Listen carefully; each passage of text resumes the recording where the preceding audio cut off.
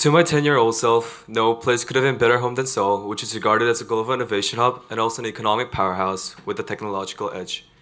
Amusement parks, various arcades, movie theaters, and karaoke's were just a few minutes away from my house.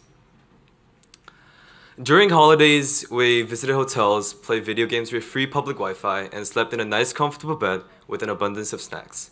My life was full of technology and gaming. However, while I was enjoying all the great entertainment that were offered in Seoul, my health suffered.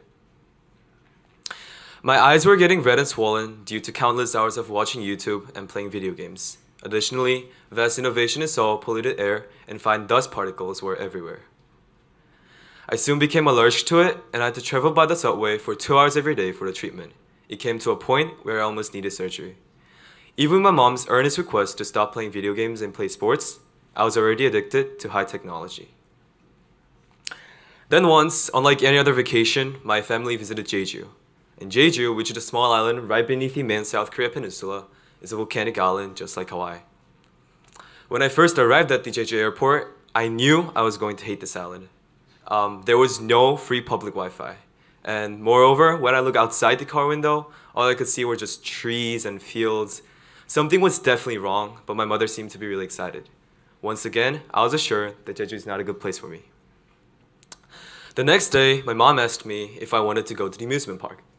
On the way to the park, I took a nap in the car, doubting nothing, but when I woke up, instead of an exciting amusement park, I saw huge buildings with school logos on giant rugby fields.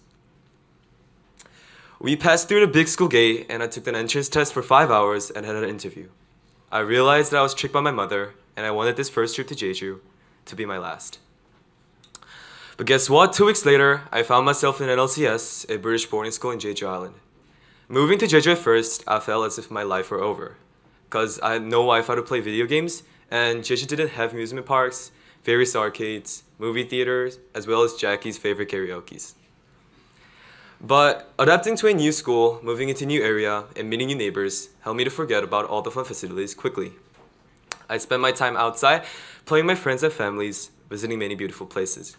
After a few years, few years in Jeju, I was fully adjusted to my new life, and I started to discover and notice something I could have never had in Seoul. Um, in Seoul, all I noticed was colorful lights, skyscrapers, and loud noises. Um, but here in Jeju, trees, stars, and flowers were more visible. Naturally, I spent my time away from technology and more with the outside environment. On weekends, I visited Halla Mountain, or Jeju Olle Trail covered with flowers and seashores right next to it.